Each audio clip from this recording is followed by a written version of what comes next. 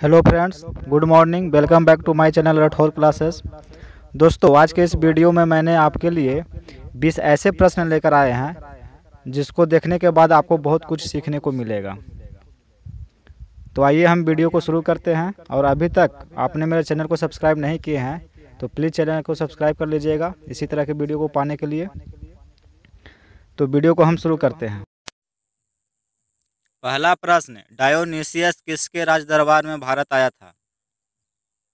Dionysius किसके राज दरबार में भारत आया था? ऑप्शन चंद्रगुप्त, मौर्य, बिंदुसार, अशोक या इनमें से कोई नहीं।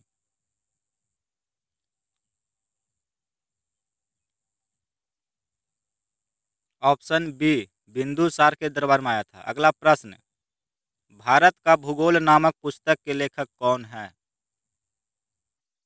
ऑप्शन टोलमी प्लिनी इनमें से कोई नहीं।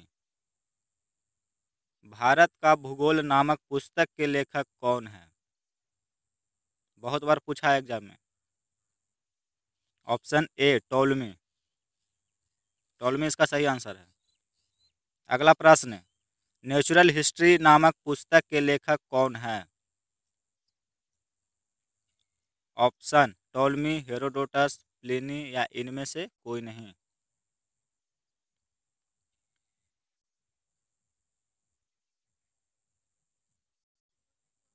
Option C, Pliny. चीनी यात्री फाहियान किस शासक के राज दरबार में भारत आया था? ऑप्शन, अशोक, चंद्रगुप्त मौर्य, चंद्रगुप्त द्वितीय, इनमें से कोई नहीं।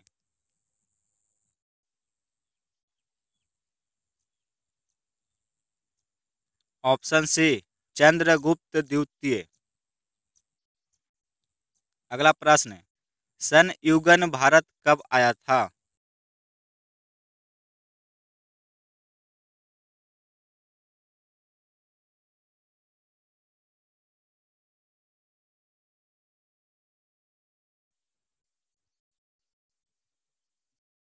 संयुगन एक विदेशी यात्री था, वो कब आया था? सी, पाँच सौ अठारह ईस्वी। हेन सोंग किसके शासनकाल में भारत आया था? बिंदुसार, अशोक, चंद्रगुप्त मौर्य या हर्षवर्धन? हेन सोंग एक चीनी यात्री था। वो किसके शासनकाल में भारत आया था? ऑप्शन डी, हर्षवर्धन के शासनकाल में आया था। अगला प्रश्न देखिए। किस चीनी यात्री का भ्रमण वृत्तांत सी यू की नाम से प्रसिद्ध है। हेनसोंग फाहियान सन युगन या इनमें से कोई नहीं। किस चीनी यात्री का भ्रमण वृत्तांत सी यू की नाम से प्रसिद्ध है? आंसर ए हेन सोंग अगला प्रश्न देखिए। हेन सोंग के अध्ययन के समय नालंदा यूनिवर्सिटी के कुलपति कौन थे?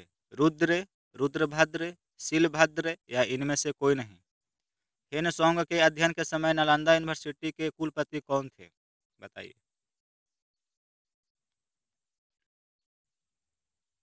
ऑप्शन सी शिलभद्र थे। अगला प्रश्न आपके सामने ये रहा, उस लेखक का नाम क्या है जो महमूद गजनबी के साथ भारत आया था? अलबरूनी, इब्न बतूता, तारानाथ या इनमें से कोई नहीं? उस लेखक का नाम बताना है, जो महमूद गजनबी के साथ इंडिया आया था। ये बहुत बार पूछ चुका है क्वेश्चन एग्ज़ाम में।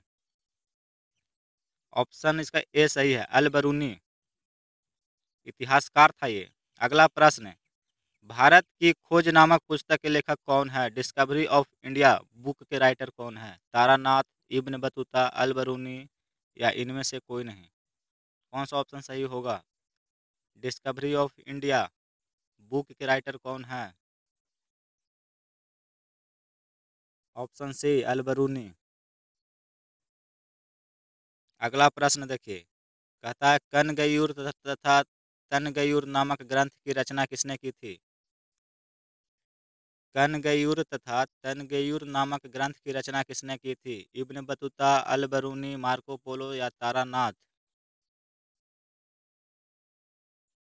ऑप्शन डी तारानाथ ने किया था। अगला प्रश्न, अभिलेखों का अध्ययन क्या कहलाता है? अभिलेखों का अध्ययन क्या कहलाता है? इसका उत्तर आपको खुद बताना है, इसमें ऑप्शन नहीं है। क्या कहते हैं? उत्तर इपिग्राफी अभिलेखों का अध्ययन इपिग्राफी कहलाता है। अगला प्रश्न देखिए। प्राचीनतम सिक्कों को क्या कहा जाता है? बताइए इसका आंसर क्या होगा? उत्तर, आहत सिक्के कहा जाता है। अगला प्रश्न देखिए। सर्वप्रथम सिक्कों पर लेख लिखने का कार्य किसने शुरू किया था? सबसे पहले सिक्कों पर लेख लिखने का जो काम था वो किसने शुरू किया था?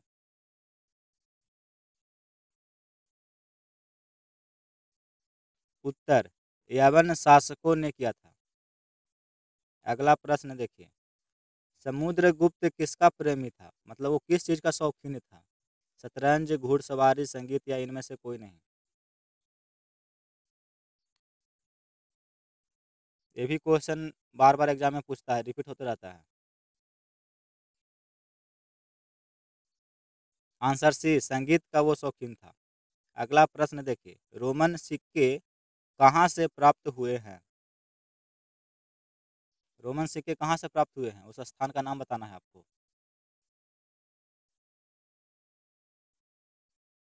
उत्तर, अरिकमेडू। और अरिकमेडू जो है, पुदुचेरी के निकट में है, वहीं पे आसपास में। जिस काल में मनुष्य ने घटनाओं का कोई लिखित विवरण उदत नहीं किया, उसे क्या कहते हैं? बताइए। प्रश्न है कि जिस काल में मनुष्य ने घटनाओं का कोई लिखित विवरण उदत नहीं किया, उसे क्या कहते हैं? इसका आंसर क्या होगा? उत्तर, प्रागैतिहासिक काल कहते हैं। अगला प्रश्न देखिए।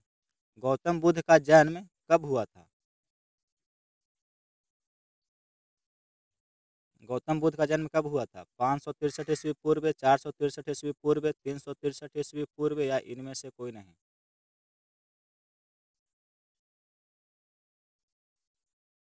कौन सा ऑप्शन सही है?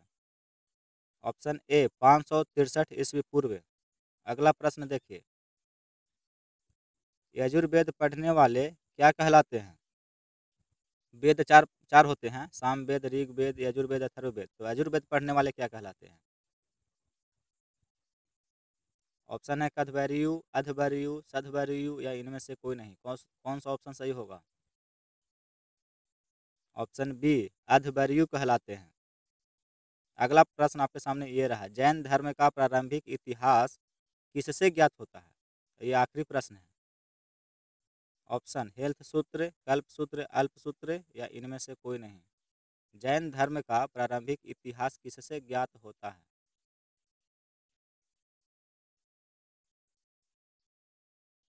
इसका ऑप्शन बी सही है। कल्प सूत्र से ज्ञात होता है जैन धर्म का प्रारंभिक इतिहास।